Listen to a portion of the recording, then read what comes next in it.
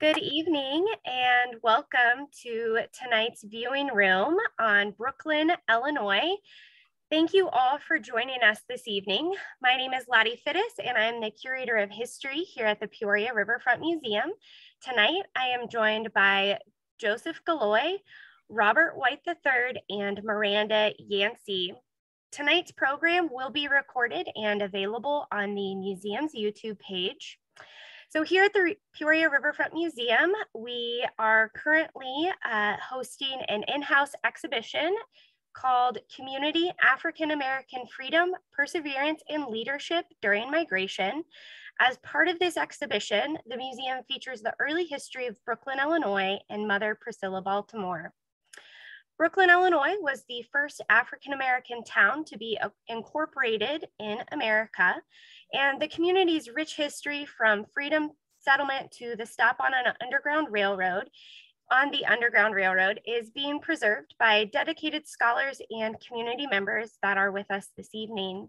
Tonight's guests will discuss the early history of Brooklyn and how its history is being preserved today. So let me share a little bit more about tonight's presenters. Robert White III is a proud native of Brooklyn, Illinois. He uses his talents, abilities, and voice and connections to advocate for the village of Brooklyn and share her rich legacy with the world. Understanding the necessity of preserving the historical and cultural legacy of America's first Black incorporated town and driven by a desire to challenge inaccurate and biased narratives of Brooklyn. Robert serves as an active member of the Historical Society of Brooklyn, Illinois, where he is currently under the tutelage of the founder, Roberta Thompson, and is being prepped to fill an integral gap and carry forward the bright torch of the village of Brooklyn. We also have Joseph Galloy, who is a contract archaeologist and college lecturer. He holds a PhD in anthropology from Harvard University and more than 25 years of experience directing pre-Columbian and historic period archaeological investigations in Southwestern Illinois. His engagement with the citizens of Brooklyn has been the most personally rewarding aspect of his career. And we also have Miranda Yancey. She serves as the Illinois Inventory of Archaeological Sites Technician for the Illinois State Museum. She was previously employed by the Illinois State Archaeological Survey, where she first became involved with the Brooklyn Public Engagement Program. She is a native of Southern Illinois and earned her BA in Anthropology and MS in Geographical Studies at Southern Illinois University, Edwardsville. Thank you all for being here tonight. And to our viewers, please feel free to ask questions throughout the talk via the comment section on Facebook. We will address questions at the end. Without further ado, I'd like to welcome our guests to present tonight's program. All right.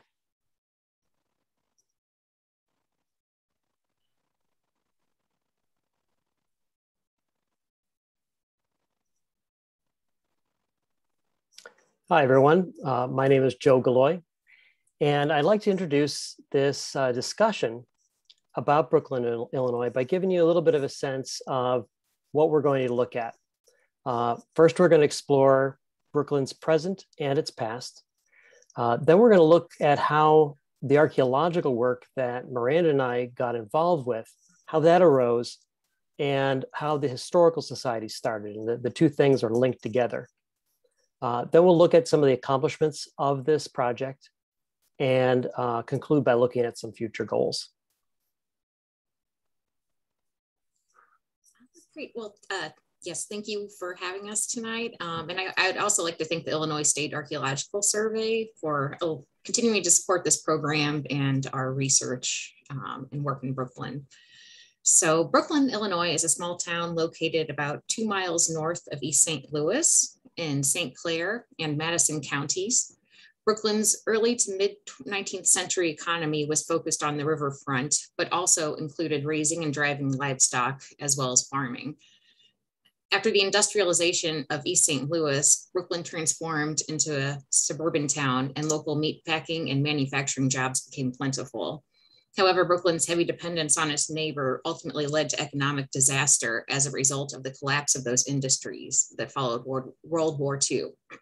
The presence of nearby company towns also took away from the town's tax base. Today, it consists of about 700, mostly African American residents, and it is experiencing a rebirth and grassroots effort to promote its important history. So um, some folks may know the town of Brooklyn by the name of Lovejoy. Um, and the name Lovejoy was adopted by uh, the Brooklyn post office that the Brooklyn we're speaking about, because there was already a another Brooklyn in Illinois in Schuyler County. Um, so there was some confusion with with two two Brooklyn post offices being in, in Illinois. So um, Art Brooklyn decided to rename their post office Lovejoy, and this was after um, Elijah Lovejoy, the anti-slavery activist who was actually murdered only a few months after Brooklyn was platted. So if you've, if you've heard of Lovejoy, you've, you've heard of Brooklyn. Um, by 1828, the land that is now the village of Brooklyn became property of a man named Thomas Osborne. Um, Osborne gained this property via marriage, um, and we know he was a Methodist and a very religious man. He platted the town in two parts. The lower two thirds was platted in 1837 as Brooklyn. Um, for this town, Osborne actually sold four fifths of his interest to four other proprietors, and one of these proprietors was also um, an anti-slavery Methodist minister from St. Louis. A year later, in 1838, Osborne platted Upper Brooklyn as sole proprietor. Upper Brooklyn would become the focus of Black settlements, uh, especially early on. And it was adjoining to Osborne's current property at the time. Um, and it was located on a, an elevated ridge area, so it would have been better um, to withstand the flooding that was frequent in Brooklyn. So by 1873, whenever the town was incorporated as then these two villages became one and today they're both known together as brooklyn and this was as lottie mentioned the first majority african american town to officially incorporate in the united states so we have some descriptions of the town during the 1840s and that indicates that about 40 to 50 black and white families were living there um, it, it was also a bustling steamboat stop uh, unfortunately, Brooklyn eventually lost the steamboat stop as they started constructing dikes in the Mississippi River to save the St. Louis harbor. Well, these caused soil accretions to form on the Illinois side. And whereas Brooklyn used to front the river, they eventually lost this river frontage. So we did look at the, all the historic records that we could find, but besides the historic records, we also have the oral history of the town. And this tradition remembers a Black settlement before platting that was known as Freedom Village. It said the Freedom Village was founded in 1829 when Priscilla Baltimore led 11 other families of former and fugitive slaves to that spot to form a squatter settlement. Um, and while the historic record doesn't support an exact date of 1829, it, it shows that the oral tradition is essentially true. Um, and we have secondary sources that corroborate um, a Black settlement present there before platting. See if we want to move on to the next slide. Uh, being the first majority Black town to incorporate isn't the only thing that makes Brooklyn so significant. It's also one of the one of a few antebellum Black towns to still exist in the United States. Um, and its people and churches also played an active role in Underground Rail Railroad early Brooklyn was an ideal location for a stop on the Underground Railroad. It was located directly across from St. Louis in the slave state of Missouri. Uh, it was the, a prime spot for fording the Mississippi. We know a steamboat stopped there, and we know there was a ferry just north of Brooklyn and just south of Brooklyn. And many of its early residents were free blacks and former slaves, so they were very eager, eager to form an independent and cohesive community, a refuge community where they would help slaves escape across the Mississippi River and then transport them north to stations um, in Alton and Rocky Fork, Illinois. The most influential founder of Brooklyn, who embodies a self-reliance and self-determination, was Mother Priscilla Baltimore. Priscilla Baltimore was born in 1801 in Kentucky. As a child, she was sold downriver to New Orleans by her father and master. And there she was eventually sold to a Methodist minister who allowed her to purchase her own freedom. At this point, Priscilla tracked down her father, who had moved from Kentucky to Missouri. He, she located him and actually purchased her mother from her father. And it's, it's just such a dramatic, inspiring story. But she, she was able to get her mother, and they went to St. Louis together. Um, and she began working there. At that time, she worked as a nurse, a ladies' nurse, um, sometimes a washerwoman, and as a chambermaid on the Mississippi River steamboats. And if you know anything about steamboat culture um, and the Underground Railroad, it, it was a, a, a vital path on the way. So the fact that Priscilla was involved with the steamboats, worked on the river, would have just aided her ability to help free slaves. So while she may have traveled back and forth to Brooklyn, um, the first documented evidence of her actually living in Brooklyn comes from an 1839 uh, tax assessor's book. And 1839 is also the year that the traveling minister, AME minister, William Paul Quinn, was given shelter by Priscilla, and the Brooklyn AME church was born in her home. Priscilla also helped found the St. Paul's AME Church, in St. Louis, and she left her estate to that church. After the Civil War, Priscilla continued to be involved with the church and in relief societies that now aided Black migrants moving north. Priscilla seems to have left Brooklyn by 1870. Um, we, we, can't find her in the 1870 census, um, but she appears in the 1880 census back in St. Louis, where she died in 1882 sadly, she died not too long after her adopted grandson, Milton, died in a railroad accident. Priscilla was very widely known at the time of her death, and there were very lengthy obituaries that were printed everywhere from the St. Louis newspapers to different religious news outlets. Um, and even in Harper's Bazaar um, had a death notice for her and so while she's not as well known today she really was she was actually considered a historical figure in her time and hopefully after this presentation more people will will recognize her and um, we can we can help get her her name and history out there um, on your screen right now you can see some uh, of excerpts from these obituaries and articles as well as the only known photograph that we have of priscilla baltimore Um, one thing. Oh, did you have more to add, Miranda? Oh, go right ahead.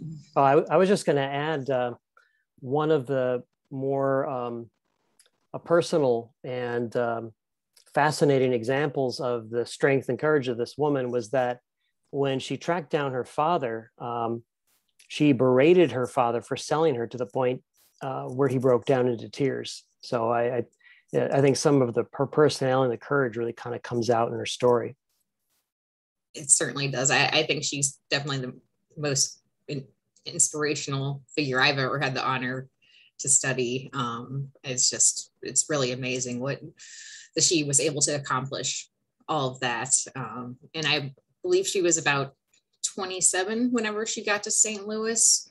So um, this was in a, in a, fairly short time that she was able to, to regain her family. Um, and so after getting to St. Louis, working the steamboat. She's was also working along the Underground Railroad. Um, and probably before she came to St. Louis, she was involved with this because it, it seems she worked on other rivers before coming to St. Louis. Um, but yes, yeah, so she, it's no surprise that she was a worker on the Underground Railroad because of her river connections and also because she was a member of the AME Church, the African Methodist Episcopal Church. And for folks that don't know, um, the AME Church was was known as the Abolition Church, and many of its ministers and churches were all active participants or stations on the Underground Railroad. so we have tales of Priscilla ferrying slaves over from St. Louis to Illinois to hear AME ministers speak.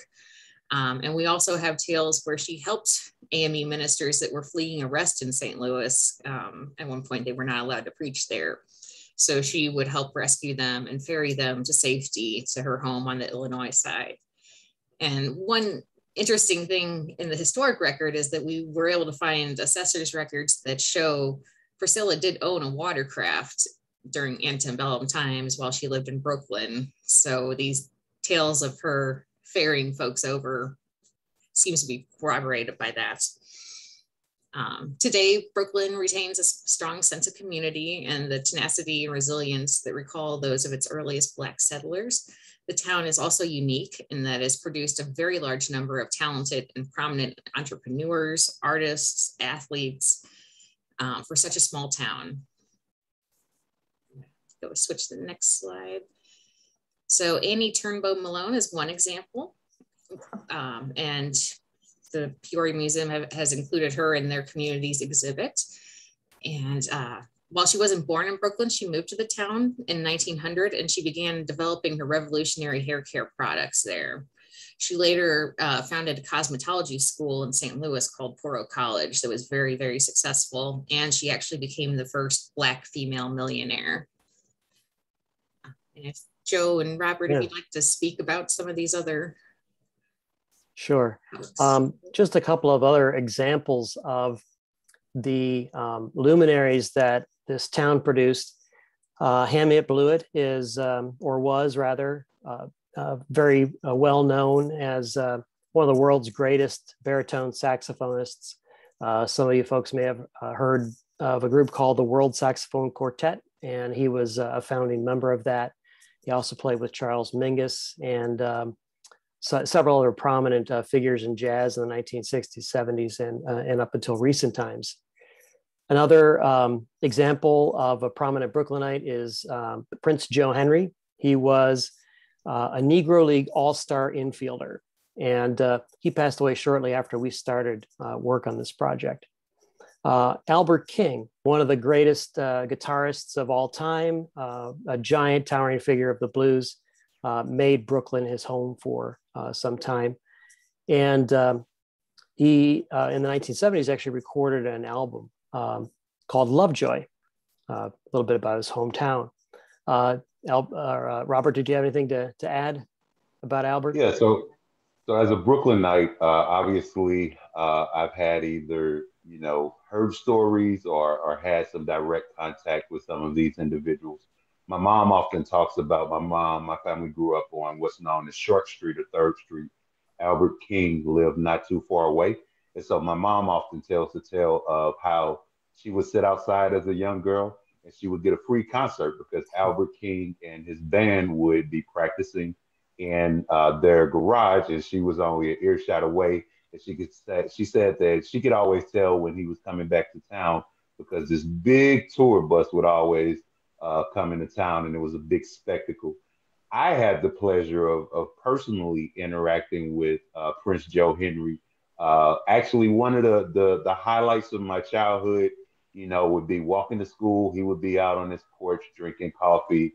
Uh, he had a big dog I, I, was afraid of. I think it may have been a German Shepherd, but uh, Prince Joe was a very gentle man, uh, kind of like a grandfather type of a figure. And so I really enjoyed. We didn't talk long, uh, but but the interactions that I had with him, not even really recognizing I was a fan of the Negro Leagues at the time, but not even recognizing that he was a Negro leaguer and a professional athlete. Uh, in college, you know, I, I, reached out to him. He was writing for the Riverfront Times at the time. Uh, he was writing a column called "Ask a Former Negro Leaguer," and so we started to communicate. And uh, I tried to get him to come down to my college, Southeast Missouri State. However, at that time he was having some health issues, uh, but had some really rich, you know, conversations with him, not just about baseball, but about politics. And his grandson, uh, Sean Muhammad, is doing a great job uh, today, really keeping Prince Joe's legacy alive.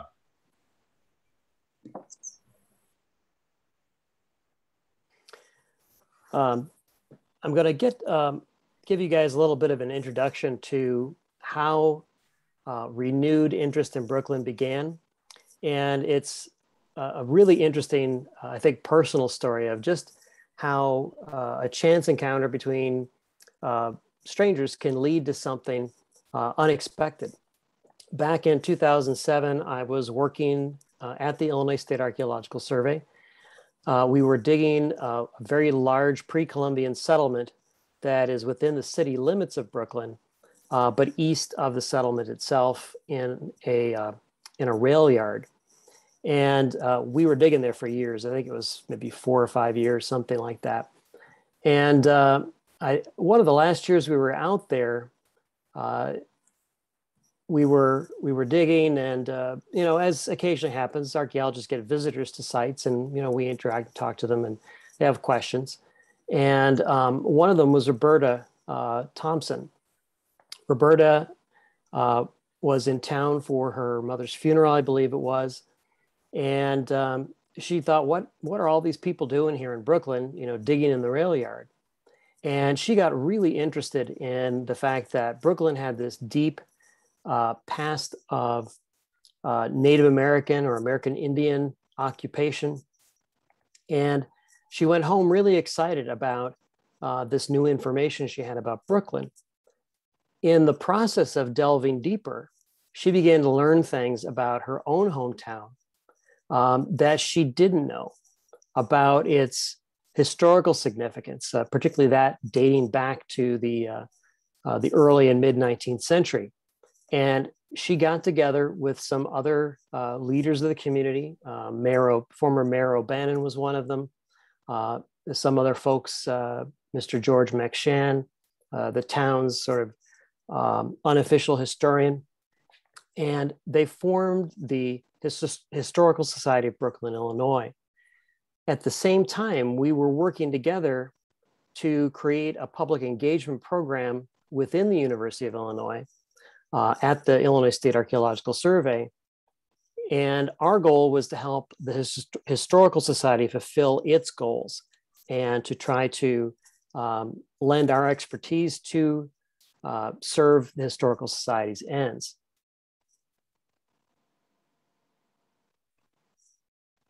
So at this point, I'm going to, uh, as mentioned, my name is Robert White III, and I am a proud Brooklynite and a member of the Historical Society of Brooklyn.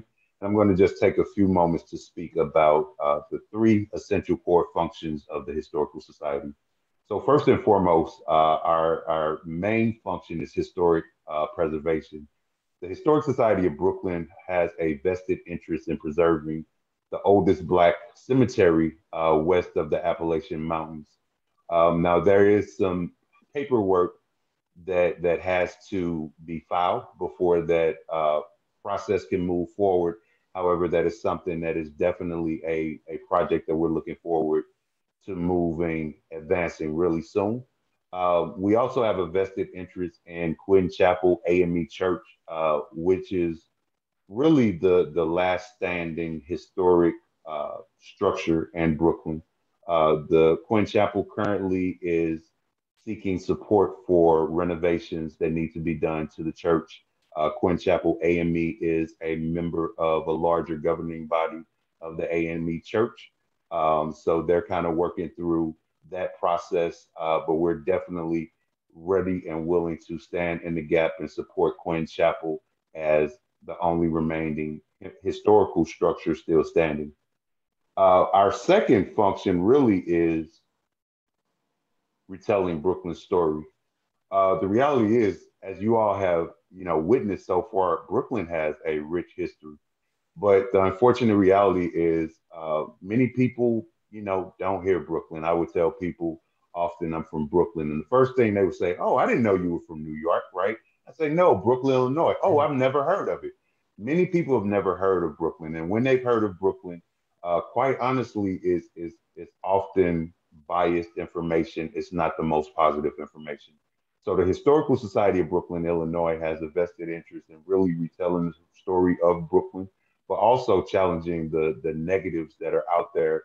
That nothing positive has come out of Brooklyn or will come out of Brooklyn. We we believe that's absolutely false, and we're we're out to uh, counter that narrative our final focus really is uh, the development of a heritage heritage-based development. Uh, we have future future plans to develop a cultural center, which I'll speak about a little bit more. Uh, currently, the Historical Society of Brooklyn does not have a permanent home. We don't have a, a structure, um, so that's one of the challenges. However, after speaking with uh, Joe recently, there may be some other possibilities that we can entertain to make this reality uh, come true. Yeah, one thing um, I want to just uh, to add before moving on is that uh, the National Register listing uh, for Brooklyn is something that we've been kind of working towards for for several years, actually uh, dating back to the early days of this project. Um, people both in Brooklyn and outside of Brooklyn, when we would talk about Brooklyn's significance, both in regional, state, and national history, they would say, well, how come this isn't on the National Register of Historic Places? It's very clearly an important historic place. Um, and I think we're at a point now that um, perhaps the, we're moving closer to that. Um, Miranda uh, had worked on a National Register nomination form, a preliminary form, and submitted it recently to the uh, State Historic Preservation Office. And uh, we expect uh, to hear some news, I think tomorrow. Is that right? Yes, hopefully tomorrow. Right. So everybody, we've all got our fingers crossed that um, that things will move forward in that direction. Um, right now, I'm going to look a little bit at um, archaeology. We've we've talked about history and and what we can learn from um, documents and historical records uh, or I should say, oral history. But most of what happened in the past, and this is something that archaeologists will uh, often tell people who aren't real familiar with the field, most of what occurred in the past um, is not recorded or is not embedded in historical narratives that are passed down orally. Most of human history is underground. And it presents an exciting opportunity for another way of looking at the past, particularly in contexts when we don't have really good historical records that talk about uh, something like the formation of Brooklyn. And at the onset of this project, when we decided to do some archaeological exploration of the town, we had a few goals. One of those was to try to figure out where the Freedom Village was. That's kind of a real basic question. You look at the uh, platted town of Brooklyn, and you know where where is it? It's a fairly large community, um, and so we had to narrow that down. And archaeology is one way of exploring that. Um, one other potential thing that can happen as a result of archaeological work is that we might be able to see the transformation of Brooklyn from the Freedom Village, a refuge community, to a formally platted town. That's also something that we don't really have a good record of. Um, and of course, one reason that documents don't tell us a lot about this time is that uh, communities like Freedom Village uh, were often founded um, under the shadow of repressive laws that were meant to keep African Americans from settling in places like Illinois. Uh, also, as a participant on the Underground Railroad, um, those sorts of activities are things that you want to maintain a low profile uh, for uh, to create the context uh, that would allow you to engage in um, helping freedom seekers north. And so the crucial early part of Brooklyn's past is something that is really only accessible, as far as we can tell at this point, through excavation. Um, last, one of the goals of archaeological work relating to Brooklyn is to try to um, point out that Brooklyn's historic past lies intact underneath the ground. And that fact alone qualifies it uh, for listing on the National Register. So that's one route that, um, that we hope that we can um, pursue that will help Brooklyn uh, attain that National Register designation. Uh, before I uh, kind of outline what we did with the archaeological work, I wanted to, to point out that when we engaged with this um, uh, community in doing archaeological work, we were using a, a model that is called community archaeology or community based archaeology. And community based archaeology is an important development in archaeological work over the last few decades. And it helps to restore some of the power imbalances that have often existed between archaeologists uh, and the wider world and local or descendant communities. In fact, archaeology doesn't have a really good uh, track record when it comes to engaging local communities um, in a respectful, uh, appropriate manner. And that's not just in the United States, it's, a, it's an issue around the world. And using the community-based approach, uh, we can sort of turn that um, on its head, turn the, the power imbalance on its head. In this case, say, we've got some expertise that we can lend to this community. Tell us what you'd like us to do. Uh, we're not doing this archaeological work for our own edification or you know building our own careers, but to actually try to help the community's goals. And that's been the model since the, the very beginning of this undertaking.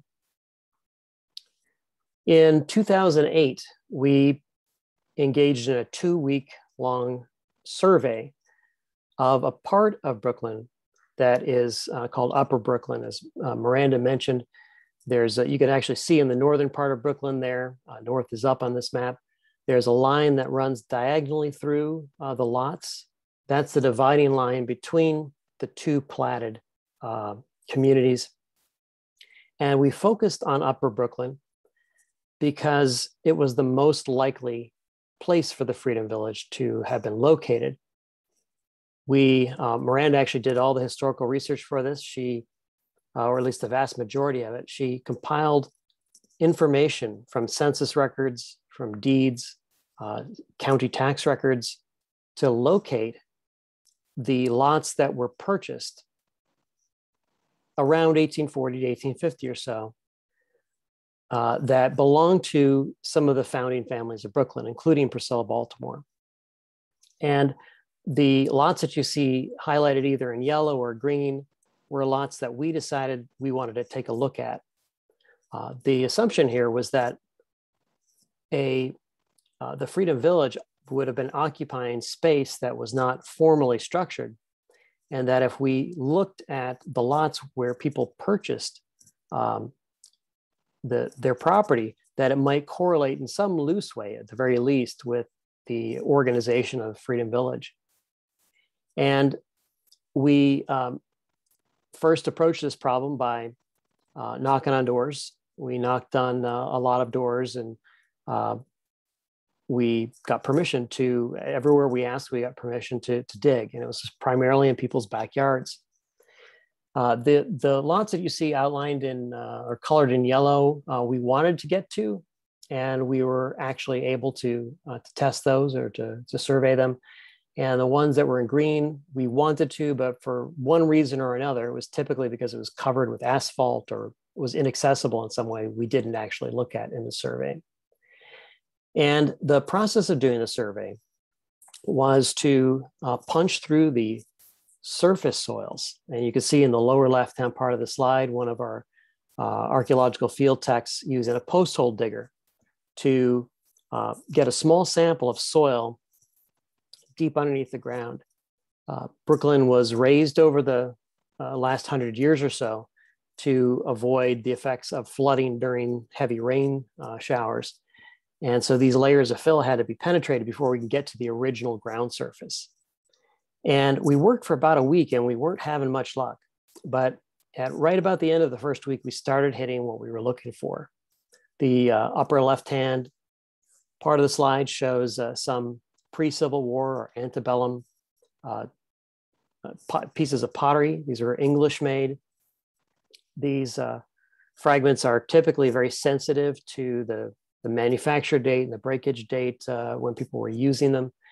And we were able to use that uh, information or this, these artifacts to, to, key in a particular location.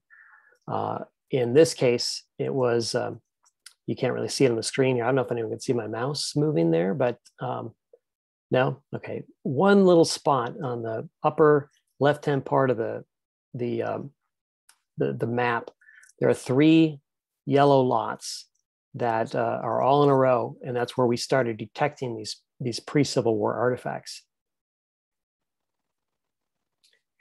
And our next step was to excavate a couple of test units. These are about three feet on a side. And we dug down through those layers of historic fill till we got to the original soil. we dug through that, the original topsoil, until we exposed the, the yellowish subsoil that is underneath that. And the trick here is that when somebody digs through the ground into this subsoil and that later on fills back up with uh, soil, it creates a stain. And what you can see outlined in red here is um, part of a, a rectilinear feature that we think might be an exposed cellar. We don't know for sure, but it's consistent with uh, subfloor cellars that were used for storage at, uh, at the time, roughly, of the Freedom Village. And we recovered some artifacts that you could see in the um, upper right hand part of the slide a little piece of a medicine vial, some very uh, thin pieces of window glass, also consistent with an early occupation, a uh, little piece of brick, and also a teacup foot ring that was also uh, consistent with an age somewhere maybe in the 1830s or so. So we were pretty excited about this. And uh, that day when I got back to the lab, I gave Roberta a call and I told her that we might have found some of the, the earliest uh, remnants of of Brooklyn's occupation. And she got really emotional about that, that, you know, we found them, you know, we're, we're not 100% sure if we have located the Freedom Village definitively. That's something we'd like to explore in the future. But I think we're tantalizingly close to being able to say um, that, that we have. And at the very least, we've proven that there are intact archaeological deposits that relate to Brooklyn's early history. And that's what makes it significant. In 2014, we decided to do some exploration of the uh, only lot that we can really definitively link Priscilla Baltimore's um, residency in uh, via documents. Is that that's correct, Miranda? Right? Yes. Um, we we know when she first moved that she per- purchased three lots in Upper Brooklyn. One of them um, is the lot that Quinn Chapel now sits on, but we don't know which of those specific lots she was residing on. But in 1851, she had um, a new house constructed at this lot here that we um, we were investigating that lot in 2014. So it's right, yeah. So this was uh, something that we thought might be um, really um, kind of like a low hanging fruit, something that if we were able to show a definitive connection between Priscilla Baltimore uh, and the physicality of Brooklyn as it is today, uh, in this case underground, that it would really strengthen that case for National Register eligibility. And we um, spent about a month digging her house lot. It was relatively small, I think about 50 feet by 50 feet. And we uncovered the remnants of some stones that were footings for a building. And then we also had several other archaeological deposits, uh, including things like uh, privy vaults, the upper right hand part of the side. You can see a slide, you can see a, a wood lined privy vault. And um, we dug several of these and recovered quite a bit of material out of them. The unfortunate thing is that it seems that all of the archaeological features that we dug, these privy vaults, cisterns, and, and so on, were related to perhaps Priscilla's abandonment of her house lot when she moved back to St. Louis. Uh, you could see on the slide there is a, an 1876 dime.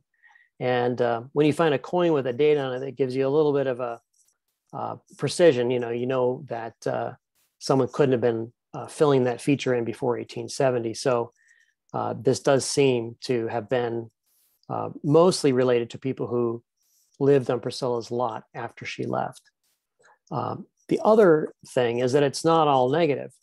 This was an important time in Brooklyn's history when the Black majority of the town began to wrest control of the city council uh, away from the white minority of Brooklyn. And um, was intimately involved with the transformation, rapid transformation of Brooklyn into an all black town. So there is additional research potential represented by some of these later archaeological deposits.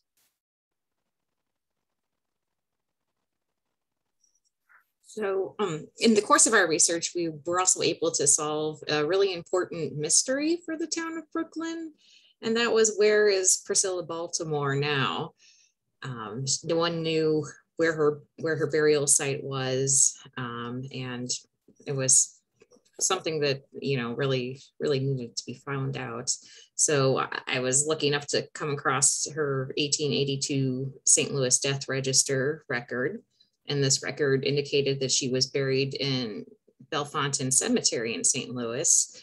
And if you've been to Bellefontaine, you know it's a very historic cemetery.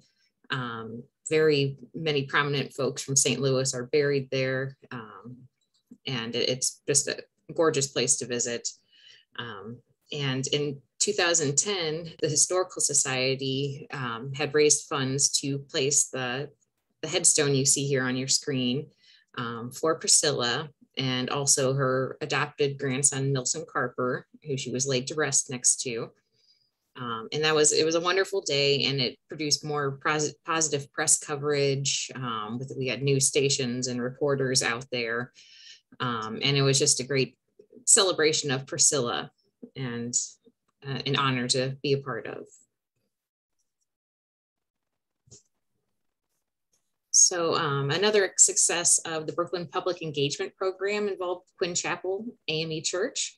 In addition to being founded by Black abolitionists prominent in the anti-slavery movement and having congregants active on the Underground Railroad, the Brooklyn's oral history recognizes that both the antebellum church building and the original basement of the present building as stations on the Underground Railroad.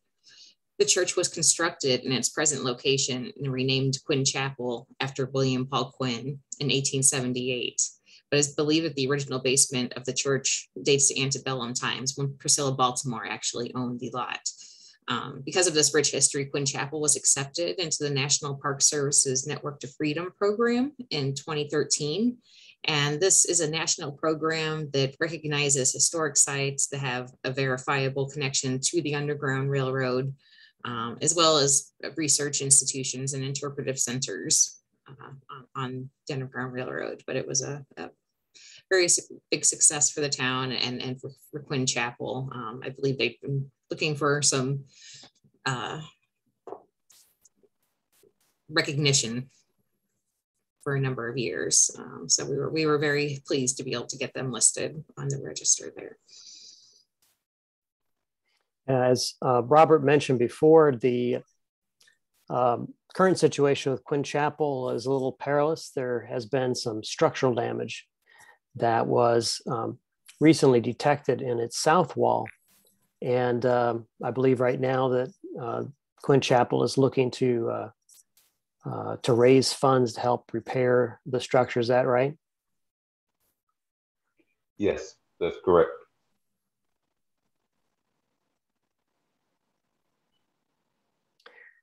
Uh, just to share a little bit about some of the, the press coverage that Brooklyn has gotten since the beginning, uh, since the Historical Society started their efforts.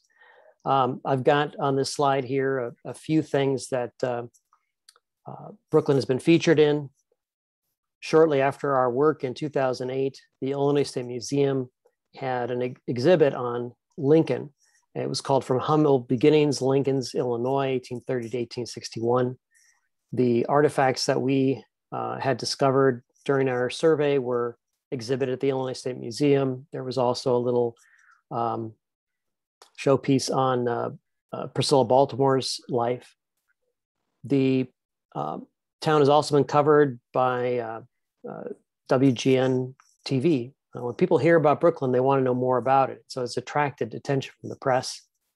In 2014, St. Louis Public Radio did a piece that was actually aired nationally about the work in Brooklyn. Uh, and uh, in, uh, I don't quite recall the year, I think maybe 2012, 2013, um, Miranda and I and uh, Mayor O'Bannon uh, appeared on a talk show on um, RAF STL. It's a classical station in St. Louis. And uh, this is just a sample of some of the, the positive press that is being generated by the activities of both the, the engagement program and the Historical Society working together. All righty. So on Saturday, July the 10th, uh, the Historical Society of Brooklyn uh, had a dedication ceremony from the Freedom Village Monument. This is uh, a process that had taken several years, but we finally got the, the monument installed. Rain was in the forecast, and we went back and forth uh, about whether or not we should move the event inside. But fortunately, the rain held off long enough for us to uh, hold the event outdoors. Had a really nice turnout. We had members of the local community, members of the press, the Belleville News Democrat, which did a really good job of featuring uh, stories about Quinn Chapel and, and the monument uh, leading up to the event, the Illinois State Archaeological Survey, uh, and members of you know the the Bellefontaine Cemetery and members from other communities as well. Uh, it was a really joyous occasion. Uh, the event happened on July the 10th, two days after the founding date of Brooklyn, which is July the 8th, 1873. So it was a moment of commemoration and celebration together, but it was also really a catalyst for uh, a sense of renewed community pride in, in, in Brooklyn. So I think Joe has a clip that he's going to play, a short clip of a balloon release that we did in honor of Mother Priscilla Baltimore. In honor of Mother Baltimore and the 11 families, First Mississippi River to found Freedom Village, we honor you today with this balloon release. So let them go.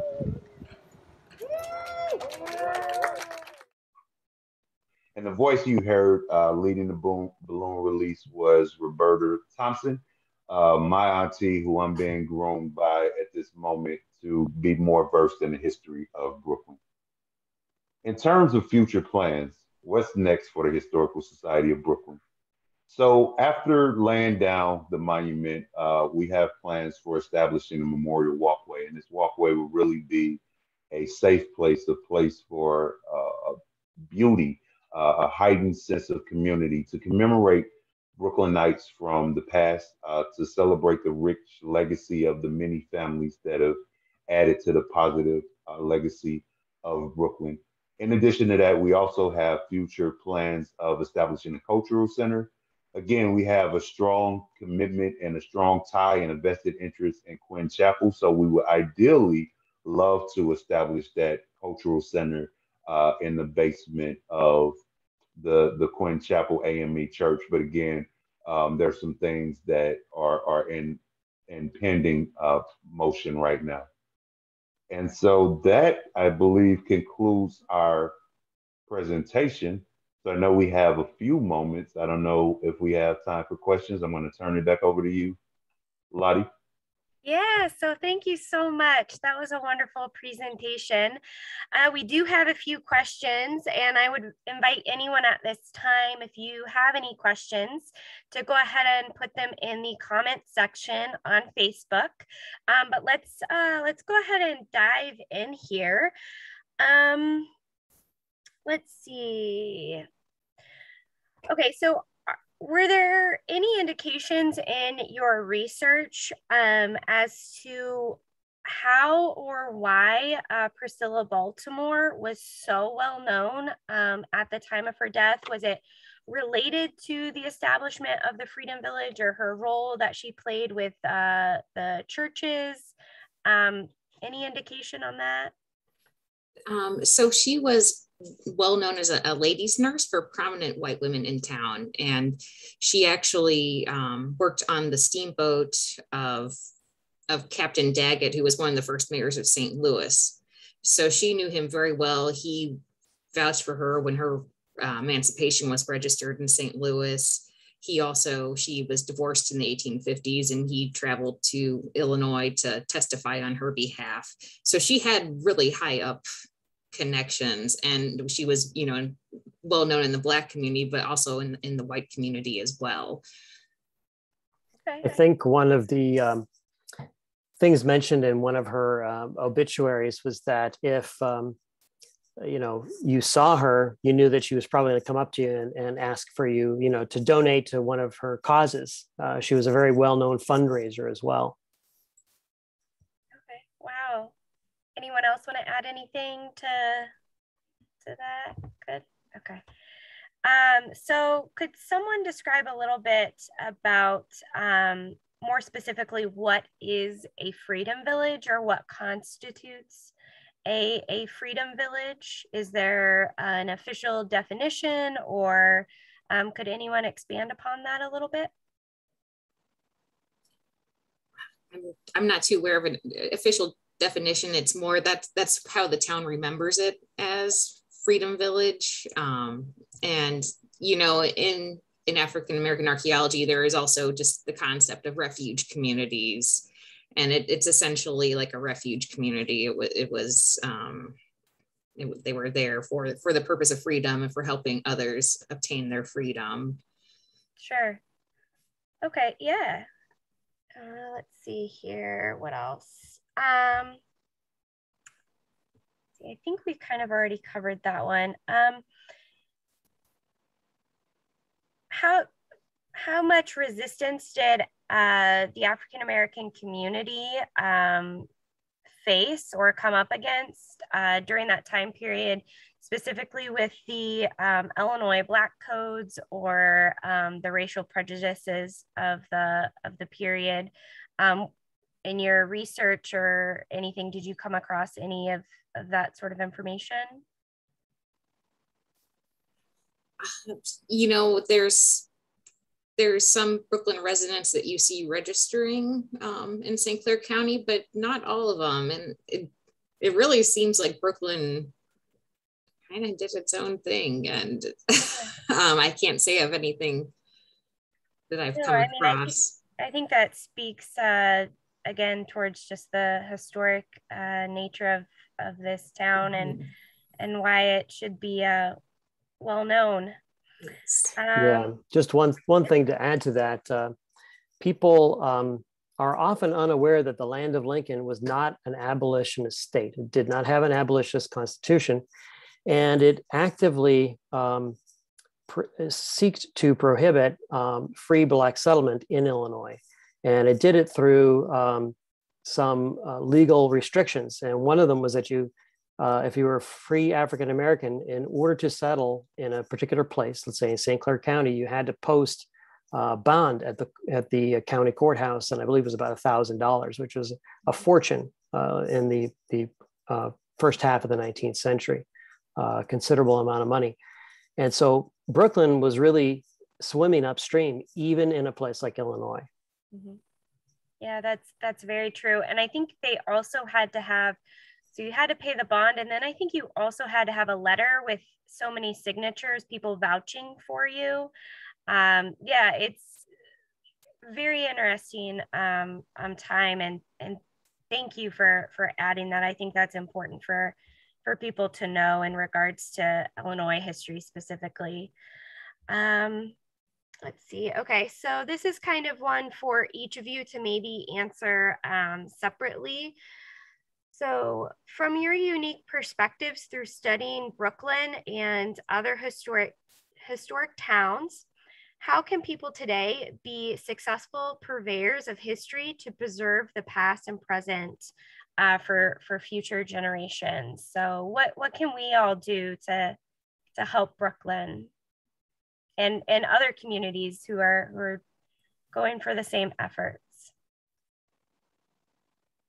I think from my own perspective um, i think it's uh, the, the, very first thing is getting the word out.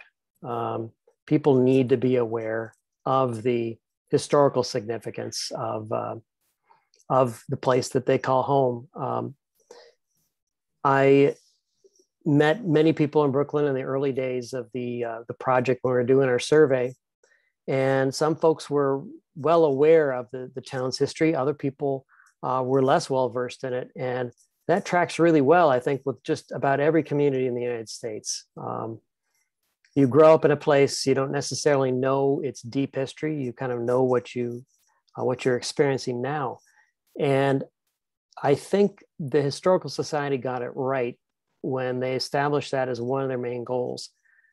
Increasing awareness of Brooklyn's significance, not just outside the community, but in the community itself. That can help you know the, the overall endeavor be successful. I think robert could probably talk a little bit more about that as well yeah absolutely so i am the baby of the historical society of brooklyn i'm the youngest member uh, i do a lot of work with youth and so i think that it's imperative one of the things that i've been promoting with the historical society is uh, just intergenerational relationships where the young uh, folks can get the history, sit at the feet of the elders. Uh, there's something special and unique about that. But really, it's our youth that will be the, the lifeblood of the community. And so we want to make sure that our youth, obviously, they can turn on the news and they can hear some of the narratives that aren't the most positive, but we want to make sure that our youth, uh, not just our youth, just youth in general, uh, have access to the rich history of Brooklyn and also understand that they play a role. So, right, we take time to commemorate and honor Mother Priscilla Baltimore and the 11 founding families. But one of the things I'm most excited about is I get to continue that work forward. I get to continue in the spirit of self determination. And so I think that's something um, big. It's just bringing bringing that intergenerational dialogue uh, to the to the center and making sure that our youth are equipped and empowered with the rich history that Brooklyn um, has so that they can, you know, have a, a, boosted sense of confidence, but also share that message with the world and keep our community thriving and alive. Yeah, I think that's that's great. That intergenerational um, necessity is is so Im- important, and especially when it comes to to history and knowing your history. Um, you know, uh, hopefully uh, we can continue to get more people involved. Miranda, did you have anything to add?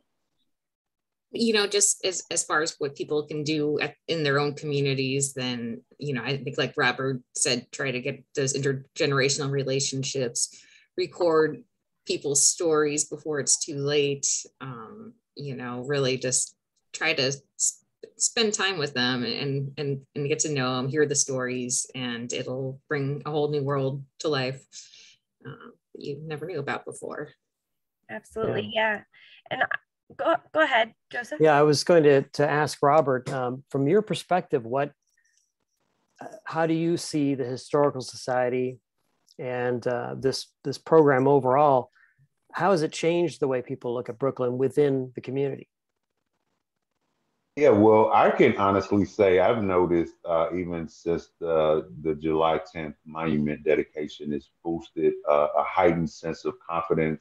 It's added a sense of beautification uh, to the community to not just hear your your history, you know, from an oral telling, to ha- but to have a monument that uh, documents that history. I see this as being a catalyst for, you know, increased uh, pride, awareness, and just an overall heightening of, of just positive vibes in the village of Brooklyn. Mm-hmm. That's great. Um, and I would just like to add, um, you know, I came about learning about Brooklyn um, when I was in in grad school. I actually learned about Brooklyn and um, New Philadelphia, which is another uh, town featured in the exhibition that we have here right now and um, they just stuck with me. Their stories, um, I was digging through archives and I was responsible for reading um, newspaper clippings that would be part of this future program for the Lincoln Home. And um, anyways, uh, the, the history of, of these places that they're they're impactful and I think the more we can get the information out there um, I hope they stick with some people like they stuck with me uh, because I eventually got to a ability to where I was able to put together this exhibition and um, share with people here in Central Illinois about these stories. So I just think